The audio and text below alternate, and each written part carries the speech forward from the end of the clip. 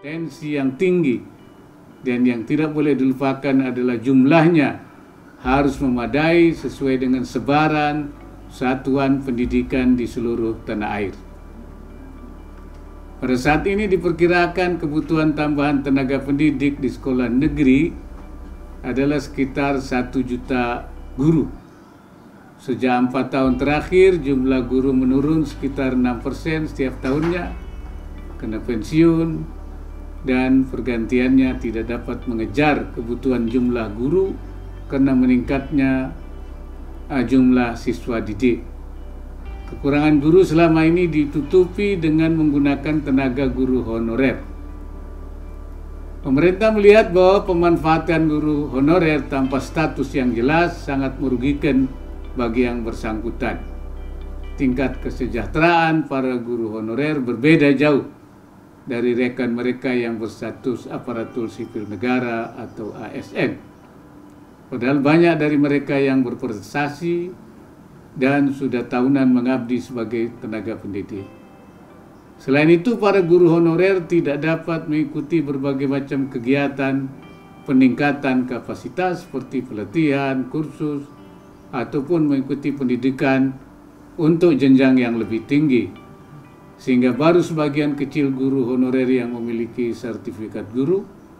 Padahal seiring dengan berkembangnya zaman, kompetensi guru perlu untuk ditingkatkan. Hambatan-hambatan ini dalam jangka panjang berakibat pada tertinggalnya kualitas para guru honorer.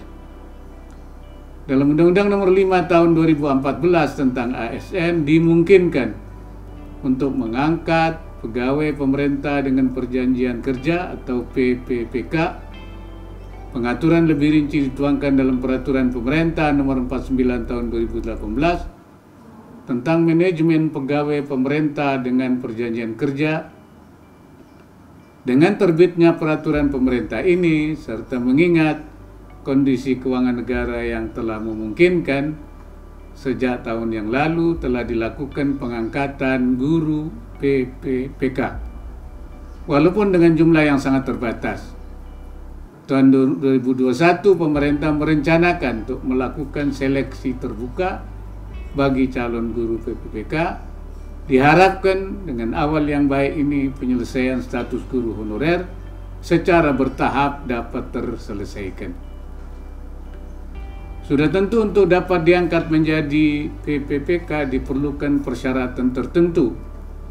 Guru adalah pilar pendidikan, keberhasilan proses pendidikan, untuk menghasilkan SDM unggul sangat dipengaruhi oleh kompetensi guru.